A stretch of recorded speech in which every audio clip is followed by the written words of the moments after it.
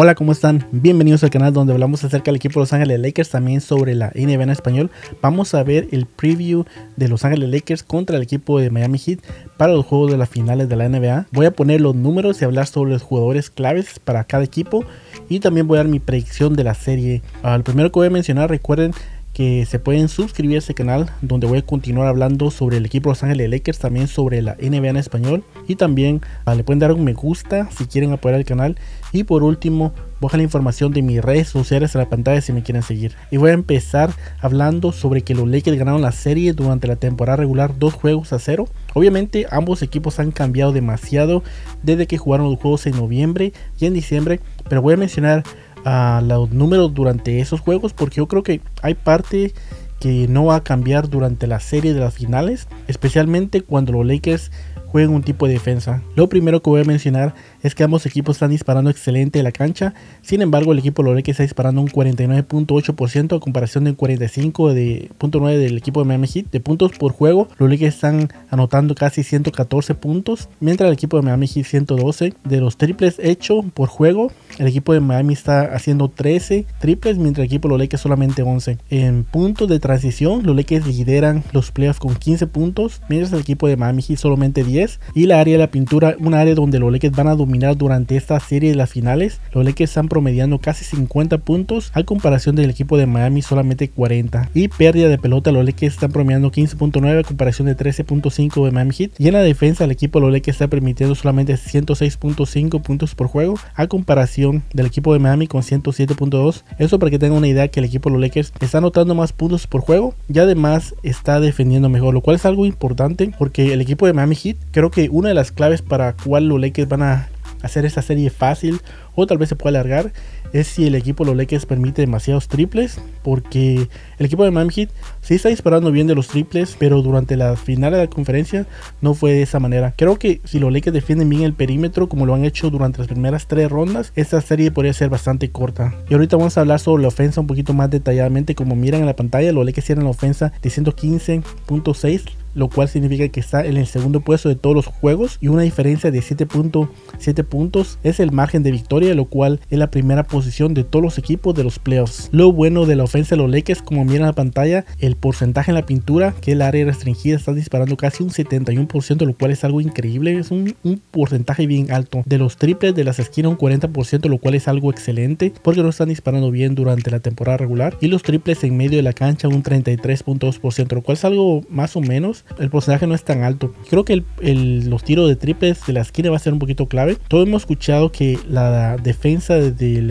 equipo de Miami Heat, especialmente la defensa de la zona, puede causar problemas para los Lakers. Sin embargo, como miran en la pantalla, los Lakers están promediando .93 puntos por posesión, que está en la tercera posición de todos los 10 equipos que han encontrado y que han jugado por lo menos 10 posesiones de zona. Ahora sobre los números del equipo Miami Heat, como miran, tienen el rating ofensivo de 113.4, lo cual está en el cuarto lugar, y el porcentaje de diferencia de victoria con 4.5, lo cual está en el tercer lugar. Y como miran cómo están disparando, el equipo de Miami Heat está disparando 64, casi 65 de la pintura, en los triples de la esquina un 34.1%, sin embargo están disparando excelente de los triples en la media cancha con un 36, casi un 37%, lo cual es algo excelente. Al mirar los números que el equipo de Miami no está disparando bien de los triples de las esquinas, lo cual es el porcentaje más alto, en mi opinión, que todos los jugadores prefieren disparar de triples. Y lo que está disparando bien con un 40%. Una de las razones es porque LeBron James simplemente ataca la pintura también Anthony Davis y hace el pase para ya sea para Kentavious Caldwell Pop o para ah, el jugador que es uh, Markif Murray, lo cual ambos jugadores están disparando más de 40% del área de triple, lo cual es algo excelente. Pero para mí la historia que se va a hablar probablemente antes del juego es que como la ofensa los Lakers va a enfrentar la zona de defensa del equipo de Miami Heat.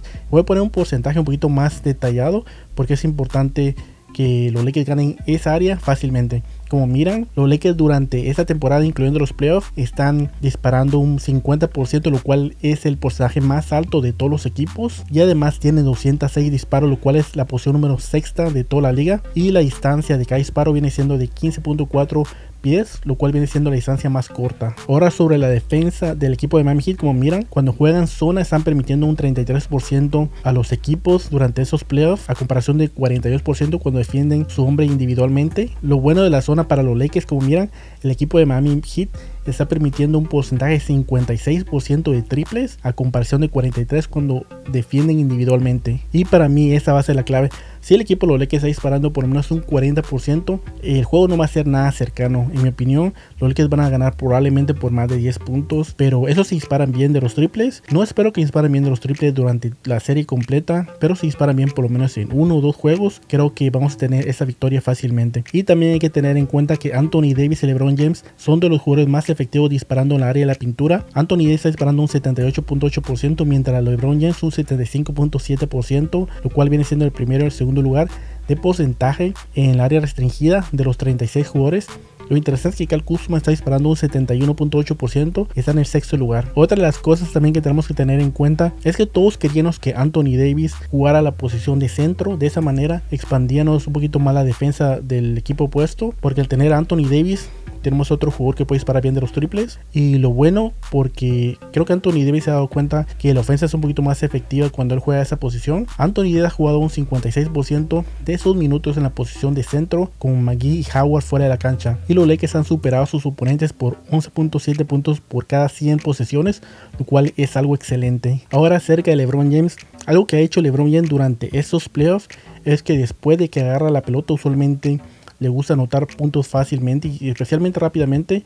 En ese momento el equipo de Miami Heat está permitiendo 1.17 puntos por posesión, que es la posición la tercera tasa más alta en los playoffs en transición, mientras LeBron James lidera la postemporada con un amplio margen de 7 puntos, puntos por juego en transición. Yo creo que LeBron James es bien inteligente, él sabe exactamente que la manera más fácil de anotar puntos es por transición, especialmente contra una defensa en tipo de zona, porque no le da tiempo para que se coloque en la defensa. Ahora algo positivo acerca del Miami Heat, que la pareja más utilizada de Jimmy Butler y Bama de Bayo han superado a sus oponentes por 10.3 puntos por cada 100 posesiones, pero sin embargo cuando uno de los dos no está en la cancha, en el caso cuando Bama de Bayo solamente está en la cancha, están permitiendo 3 puntos más que el equipo contrario. Y si Bama de Bayo, solamente Jimmy Butler están permitiendo 14.4 puntos más que el equipo contrario. Y para mí eso es grande, ya que realmente miramos que en la serie anterior el equipo de Los Ángeles Lakers estaba atacando bastante a Nikola Jokic y de esa manera le metían bastantes faltas. Creo que va a ser la misma estrategia que va a implementar el director técnico Frank Bogo, ya que tenemos la alineación completamente perfecta para poder defender a Bama de Bayo lo cual yo creo que Anthony Davis solamente lo puede defender a él. Y además, como miramos, el equipo de Los Ángeles Lakers ha jugado bien uh, durante los playoffs cuando se enfrenta a un equipo que solamente tenga un centro. Ahora, algo clave que el equipo de Los Ángeles Lakers tiene que hacer es defender bien el perímetro. El equipo de Miami ha disparado 32.3 en los tiros de 3 puntos en la final de la conferencia, lo cual fue algo malo pero está disparando un 38% durante las primeras dos rondas. Y yo creo que obviamente el equipo de Miami Heat no disparó un 38% como lo hizo en las primeras dos rondas, pero tampoco dispararon un 32% como lo hizo en las finales de la conferencia. Creo que un 34% sería bien, y, pero los Lakers también, si disparan alrededor de 30 a 32%, creo que la serie se puede alegar un poquito más, pero creo que van a disparar un poquito mejor que eso, un 34%, eso es lo que espero del equipo de Los Ángeles Lakers. Ahora sobre los duelos individuales, creo que los duelos más importantes vienen siendo LeBron James contra Jimmy Butler y Anthony Davis contra Bama de Bayo. Anthony Davis es mejor jugador que Bama de Bayo y obviamente no solamente puede anotar puntos fácilmente en la pintura, sino que es uno de los mejores jugadores defensivos de toda la liga. En mi opinión, eso va a ser la clave por la cual los Lakers van a poder defender bien la área de la pintura. Y al defender bien la área de la pintura, podemos tener mejor trabajo defendiendo el perímetro. Y de esa manera no permitimos que el equipo de Miami Heat dispare tan excelente el área de triples. Y lo que pienso es que si Anthony Davis defiende bien, especialmente el área de la pintura, vamos a defender excelente en el perímetro. Porque de esa manera le quitamos la presión de tener otro jugador que puede defender el área de pintura y ayudar a Anthony Davis. Lo cual yo creo que no se ocupa porque como miramos en la serie anterior, Anthony Davis hizo buen trabajo contra Nikola Jokic, a pesar de que Nikola Jokic tuvo bastantes canastas sobre Anthony Davis, le complicó la vida a Nikola Jokic, especialmente porque él está disparando bien de larga distancia, algo que Bama de Bayo en este momento no tiene la misma manera de disparar bien de la larga distancia. Si podemos contenerlo y evitar de que anote puntos fácilmente a la pintura, creo que la serie se va a hacer un poquito menos complicada. Yo creo que los Lakers tienen eso y lo van a hacer. Ahora sobre el otro duelo de Jimmy Butler con LeBron James. Obviamente LeBron James puede atacar a Jimmy Butler y lo único que me preocupa es que Jimmy Butler sí puede defender bien, especialmente en el perímetro, ya que está liderando durante estos playoffs en robo, lo cual es algo importante de mantener y cuidar bien la pelota. Algo interesante que vi en Twitter es que vi el récord de Jimmy Butler contra LeBron James. Ambos jugadores han ganado 17 juegos, lo cual significa que la serie está empatada. Esos finales van a decidir quién es el que ha ganado más. Yo creo que los Lakers van a ganar esta serie. Ahora mi predicción, yo creo que en mi opinión la diferencia más grande es que podemos anotar puntos más fáciles en la pintura. Como mostré en las estadísticas, el equipo de los Lakers está disparando excelente de la área de pintura y también estamos disparando bien de los triples, especialmente la esquina. Una gran diferencia de cómo el equipo está disparando de los triples de la temporada regular. Durante la temporada regular miramos que el equipo de los Lakers disparó en unos juegos 15 o 20% de triples, lo cual cuando disparan ese tipo de porcentaje se complican la vida en los juegos. Ahora sobre mi predicción, los Lakers van a esta serie en 5 juegos y en mi opinión Anthony Davis es mucho mejor jugador. Y en el otro duelo miramos a LeBron James contra Jimmy Butler. Yo creo que LeBron James va a ganar el MVP de las finales. Creo que va a promediar por lo menos 26 puntos con alrededor de 8 asistencias y 9 rebotes. Eso es lo que pienso. Y además hemos mirado que LeBron James ha subido su nivel, especialmente defendiendo durante los playoffs. Y ahora lo que voy a hacer antes de poner más datos acerca de la final de la NBA, voy a mostrar los juegos que ocurrieron en noviembre y en diciembre. En noviembre no jugó Rayon Rondo y en diciembre no jugó Cal Kuzma. En diciembre no jugó para el equipo de, el equipo de Miami Heat a Goran Dragic.